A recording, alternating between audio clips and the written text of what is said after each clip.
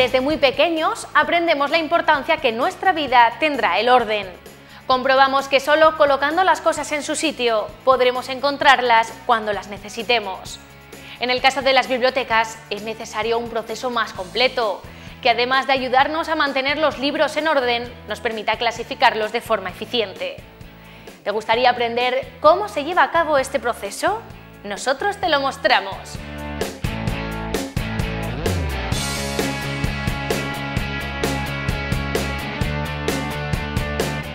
Para que el material que recibe una biblioteca pueda estar a disposición de los usuarios debidamente ordenado y clasificado, tenemos que realizar algunas tareas administrativas. Entre ellas se encuentran el registro, el sellado y la asignatura.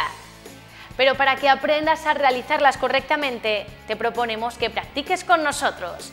Así que necesitas un ejemplar de cada uno de los materiales con los que vamos a trabajar. Una monografía, una revista y un CD. Cuando lo tengas todo listo, comenzamos. ¿Listo? Muy bien. Supón que acabamos de recibir estos tres materiales en nuestra biblioteca.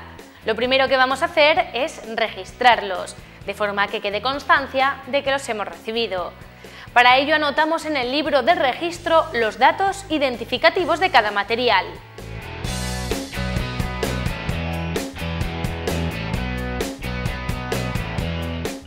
Entrada, donde asignamos un número identificativo a cada material y anotamos la fecha de entrada del material. El autor, título, pie editorial, junto con el lugar de edición y el año, volumen, procedencia y observaciones.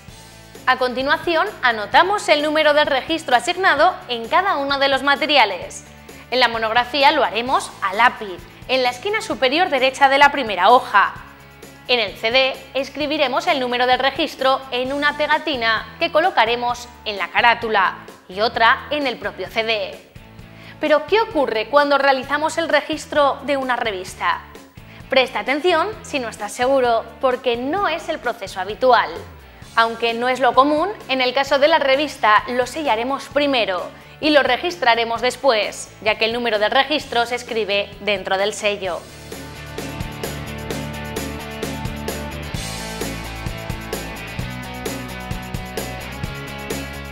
Después del registro viene el sellado, que se hace para indicar que el material pertenece a una determinada biblioteca, ya que en el sello aparecerá el nombre del centro propietario.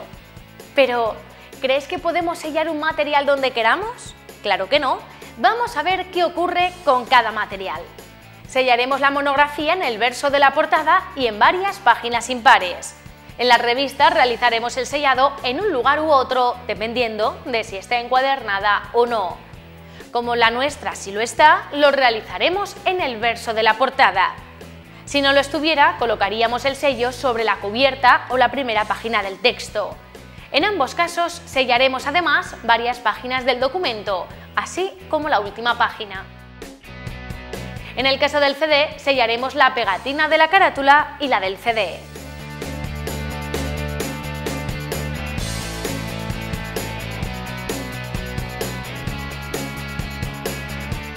Con la asignatura asignamos al libro un código formado por números y letras, que nos servirá para indicar su colocación en la biblioteca.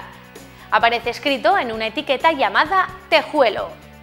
En las monografías, uno de los formatos de asignatura que se utilizan más a menudo es el que utiliza la CDU y está compuesto de tres líneas.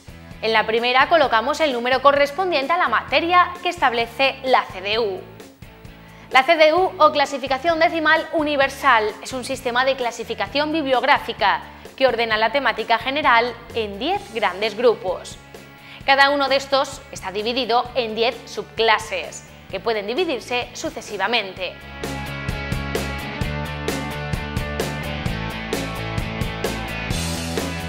Así, el primer dígito de la CDU indica la materia a la que pertenece y los restantes a la especialidad dentro de la materia. A continuación del número de la CDU irán las tres primeras letras del autor del documento en mayúscula, seguidas de las tres primeras letras del título en minúscula. Esto en lo que a la asignatura de las monografías se refiere. Con la revista sucede también que no hay un formato oficial. Uno de los formatos más usados en la asignatura de una revista es el que comienza por H, para designar el lugar que ocupan en la biblioteca, que en este caso es la hemeroteca, seguido del número del fascículo y el año de publicación entre paréntesis. Recuerda que en el caso de las revistas colocaremos la asignatura en cada fascículo de la publicación. Perfecto, solo nos queda poner la asignatura a nuestro CD. Recuerda que en este caso no tenemos tejuelo, sino dos pegatinas, una en la carátula y otra en el propio CD. Será aquí donde escribamos la asignatura. Tampoco en este caso existe un formato oficial de asignatura, sino que este depende de cada biblioteca. Un formato muy común es el que comienza por las letras CD, para identificar el tipo de soporte, más las tres primeras letras del autor y las tres primeras letras del título. Ya hemos terminado. Seguro que te ha sido de ayuda ver cómo se realiza el registro, sellado y la asignatura paso a paso. Te recomendamos que vuelvas a ver este audiovisual para afianzar los conceptos. Y si tienes cualquier duda, acude a nosotros, tus tutores de Master D. ¡Hasta pronto!